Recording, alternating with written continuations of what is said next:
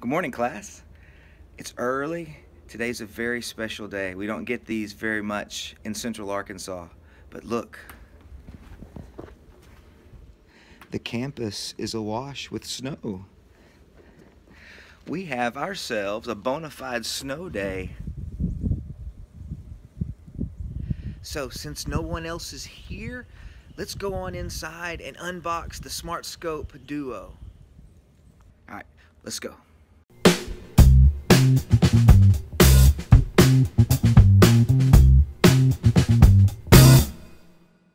right, here it is, the SmartScope Duo. It's dual 8-inch video monitoring with built-in waveform monitoring for SD, HD, and 3G SDI video formats. So I'm going to uh, unbox this and we'll see what we find. I have my unboxing kit, screwdriver, and Papa's pocket knife. Papa's pocket knife is used every day.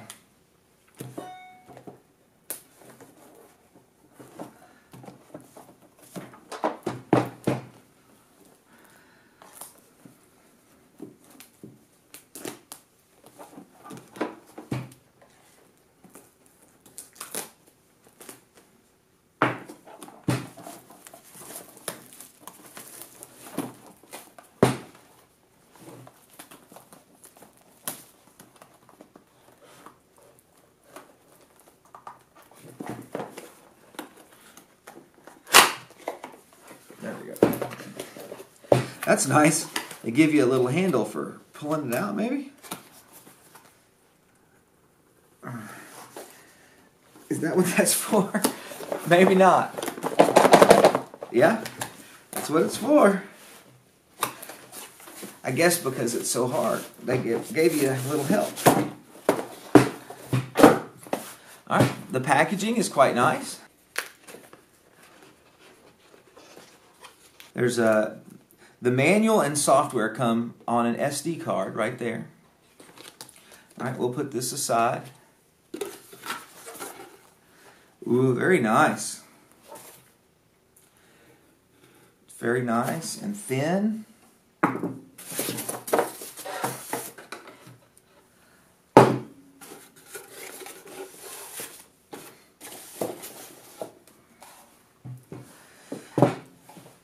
Okay, so there's the two monitors on the back. This is uh, Ethernet in and out. I'm assuming that this has an IP address um, and it functions in tandem with the ATEM. We'll, we'll find out how that works when I look at the manual. Uh, a traditional tally connector SDI in and out for channel uh, monitor 2, SDI in and out for monitor 1, USB uh, likely for installing firmware, and then the, the power is a 12 volt power connector here. And then we have the transformer, and looks like fittings for all the various American and then the other internationals. So that's pretty nifty. Well, I live in the good old US of A, so I'm going to go ahead and slide that in. All right, so we have the power. We have the Smart Scope Duo. I'm going to next install it into the rack. The first thing I'll do is take out this power conditioner and move it down. I think since it has lights, and I won't need those lights on the dual uh, monitor because it provides its own light, then I'll move it down so that I can have the monitor separated from everything else a bit.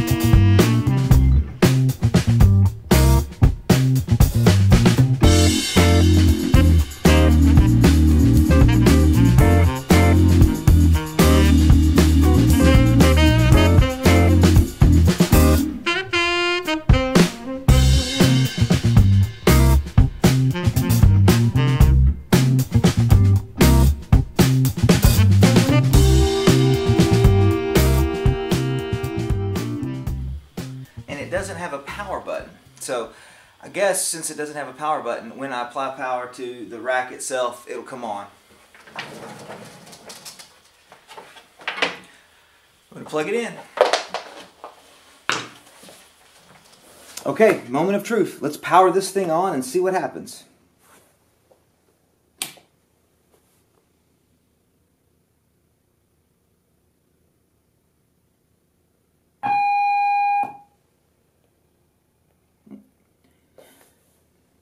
It must have detected that it had no input source and shut itself off.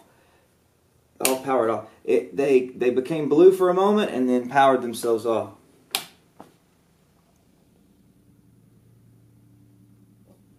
Hmm, They're both blue. Off. Okay, that must mean I need to come up with an SDI power source and then we'll try it again.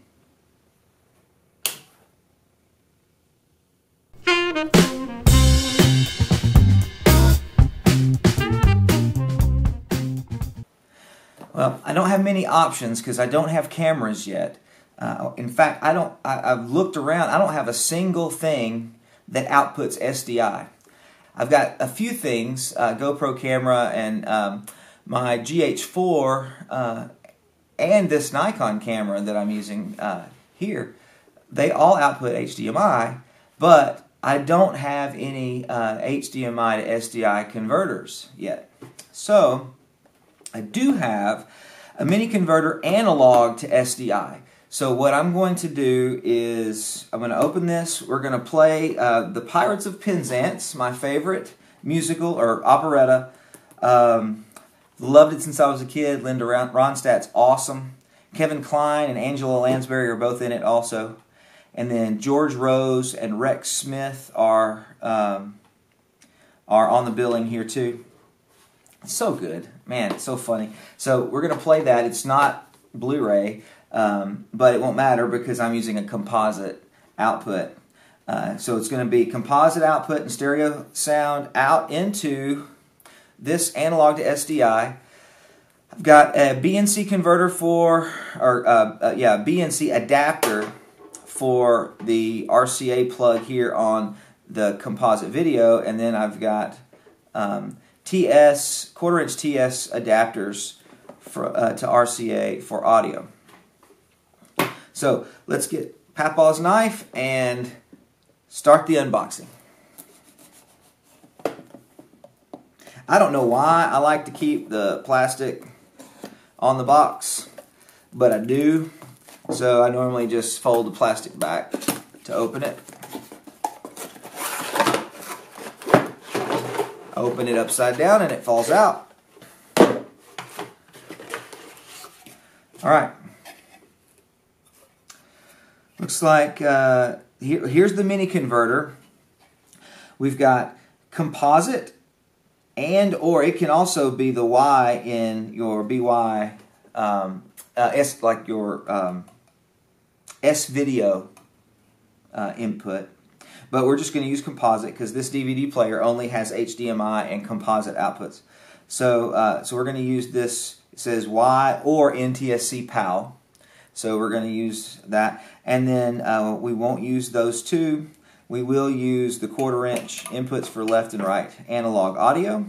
And then on the SDI side, it has S two SDI out, so that's nice. We get two dist distinct outputs, which will be good. And then there's dip switches here and a table to tell us what they're used for. So I'm gonna, it says processing on and off. Let's assume that processing is necessary. I really don't know what that means. Um, if I want to use composite versus uh, as opposed to S video, then I need to have dip switch 4 turned to the off position. It says that if I want composite or S video, I have to turn 5 to on. So I need 4 off, 5 on. Um, number 6 is Betacam versus uh, levels. I would assume SMPTE, but... And then IRE, I'll have to look in the book. I'm not sure what IRE is. Uh, and then analog, uh, number 8 is analog audio versus AES EBU audio or digital audio. I'm going to have, so I have to have 8 off. I have to have 5 on. I have to have 4 off. And everything else I'm going to leave where it is. Okay, so the dip switches are here. And they're they're numbered 1 through 8 and there's a little arrow that says down is on. So all of them are turned off at this point. I'm just going to then turn composite's supposed to be off. So I'm going to leave those the same. I'm going to turn 5 on and leave that, that off, and leave that off. So just turn 5 on is all I have to do. I'm going to take Papa's knife and 5 to the on position. I need to choose the Edison plug since we are in the United States. And I'll put all this back in the box.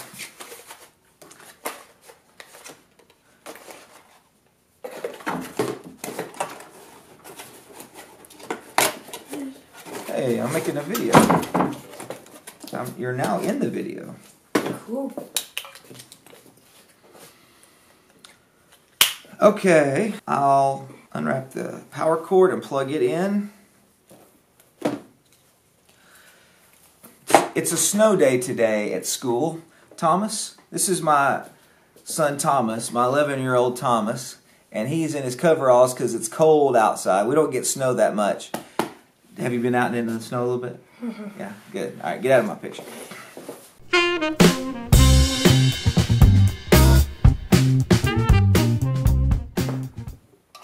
Composite video. Left audio, right audio. Now, all I've got, I don't have any of my digital uh, coax, the RG6 stuff that I've ordered yet. So all I've got is this older uh, RG59, but does have a BNC connector and it's not very long. So I'm hoping that we'll get something decent over here in the, uh, the Duo. Plugged in. Uh, let's see. Looks like the menu's running on the DVD. Let's plug this up. As you can see, things are rearranged a bit. And I found my problem. It was a silly mistake. This, I, have been hooking up DVD players for years. I've never played with any of this other stuff. All the new stuff was right. It was the, the DVD player that I had plugged up wrong. So, at any rate, that was why we weren't having uh, success. But I did want to show you the software that came with the SmartScope Duo and uh, show you how I can make changes to that software. So, uh, under Applications, I have on my Mac, I have this Blackmagic SmartView folder that was installed, and when I run the setup, it finds the SmartScope Duo because I have already plugged it in via the USB cable. Now, eventually, once we get everything in the rack, I'm going to connect them all with Ethernet and a little switch, and we'll have IP addresses for everything, and it'll make setup and, and maintenance a lot easier. But for now, I'm using the USB cable. As you can see, we've got the, the ability to choose what is displayed on the left and the right monitor. On the left monitor, the default setting is video monitoring, uh, SD aspect ratio 16.9, right? The right monitor, um, by default, it was the same thing. So if you look at the screen, I have the DVD playing and you can see that both of them are showing the same thing. The way I've got it connected, I have the um, SDI cable coming out of the analog to SDI mini converter going into the left side of the SmartScope Duo. And then I have a small, about 8 inch SDI cable jumping from the out of that back to the in of the second one. So the same signal is going to both. Uh, I was surprised to see, uh, not surprised, I was happy to see that there was uh, no discernible latency between the two screens. Of course, it's only a tiny little uh, cable, but still, um, we could have had a, a, different outcome. So I'm glad that it's doing well. Um, if you look in the software, I can uh, I, I, can also I'm going to leave the left monitor with the the video, but on the right monitor I'm going to change it. We can show waveform, or we can look at a vector scope of the video, RGB parade, YUV parade, histogram, or we can monitor the uh, audio. This is this is Audio DBFS phase scope. Um, anyway, and then we've got um, Audio DBVU as an option as well. All right. Well, guys, that was it. We have unboxed and set up the SmartScope Duo. This is the 4K version. Uh, so I'm editing today's video, and I remember that we played the Pirates of Penzance DVD to prove out the SmartScope Duo, uh, and I have something special to show you before we go. This, my friends, is an original dated uh, January 3rd, 1981 playbill from the Pirates of Penzance from the Uris Theater. Little piece of history here. Really, uh, looking at the ads, everything, it's so fun. You, you anybody uh, watching this remember that there used to be something called a Datsun? The Datsun. I had a my friend's dad had a Datsun. All right, let's see if we can get to, this is a ad for Tribute with Jack Lemmon and Robby Benson, Lee Remick. There's Carol Channing. Let's see if we can find the billing.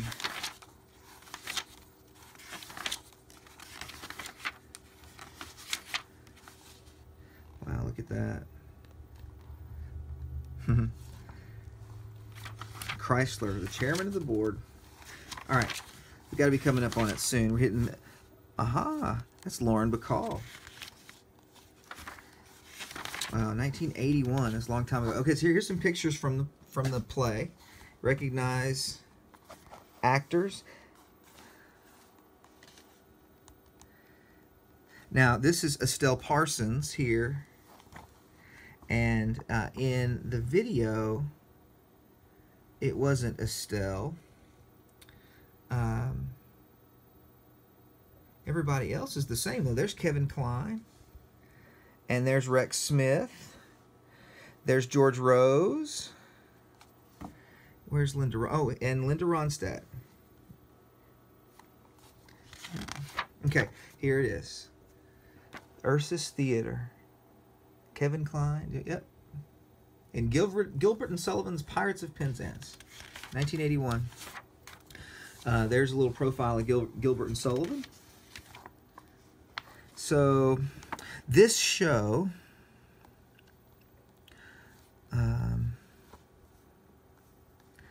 nine, or 1879, The Pirates of Penzance. 1879. Isn't that a long time ago? There's the cast. Kevin Kline was the Pirate King.